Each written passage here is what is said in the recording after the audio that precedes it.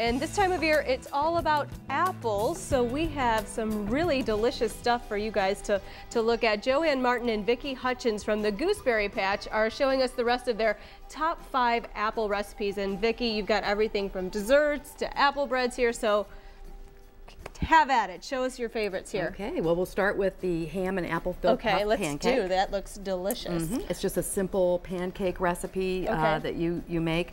And when you take it out of the oven, you make it in the oven in a pan. Okay. When you take it out of the oven, it sort of sinks, which is perfect uh -huh. because then you have the well for the um, it's uh, uh, apple, apple pie, pie, filling. Okay, with, uh, oh, with so ham. Mm -hmm. okay. And then you can sprinkle cheddar cheese on top if you like. Okay, that and looks delicious. And then uh, nice. let's so let's move on, guys. So over here, these are really adorable.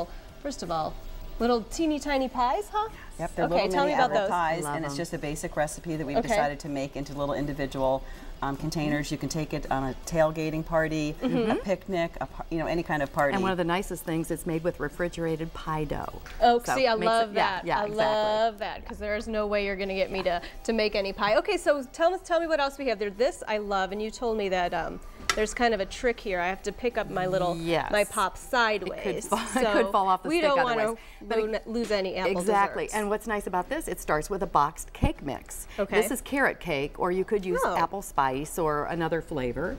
And they're supposed to look like caramel apples. That's the idea with the stick. Just a little bit of fun. Mm -hmm. They're easy to eat, easy to make. And I think that's what Gooseberry Patch is. Everything's really easy. Yeah. Items in your pantry, and exactly. they're simple things that your family will love. Tried and true. Very good. And then finally we have what's over here is the apple cheddar bread. So this is another savory, kind of like the braid that you showed us exactly. earlier. Exactly. Uh, an apple and cheddar is perfect combination. You mm -hmm. can't go wrong. So it's it's a nice nice for gift giving also. Exactly. Mm -hmm. I once had somebody melt cheddar on top of applesauce for me, homemade applesauce. Oh. Have you ever done that? No, never. It was never different. It was different. Well, you know, is there an apple that's better for cooking than others? I would say um, a Granny Smith is what we've used today, uh, and that's a good sturdy apple that holds up well when you bake.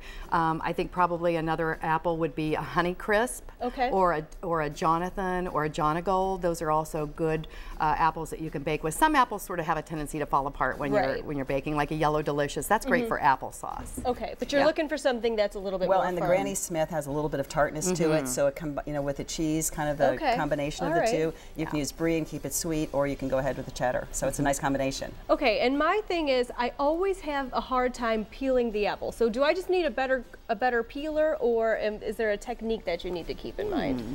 I don't know that we know any tricks. I, don't know think any tricks. Um, no. just yeah, the just. Just, just a good get knife. over just it, a good, Dana, just and, a good and pair of knife. peel right, your apple. You see some people that have the apple peelers, you know, and I think that could be worth But I will try, give you a tip, though. We understand that if you take your apple slices and you dip them into soda, like lemon lime soda, mm -hmm. it'll really? keep them from getting brown. Yeah. So it's just oh, a quick dip. A Club tip. soda, anything carbonated would work. So that way they don't turn brown. Okay, very good. Well, uh, we are going to get to tasting these things. I'm sure they're delicious. And if you want to try them, we've put the recipes on our website. You can go to myfox28columbus.com and click on recipes. Ladies, thank you so much for being here. This looks amazing. We always love having you guys. Thanks on. for having us. All right, Pete and Lisa,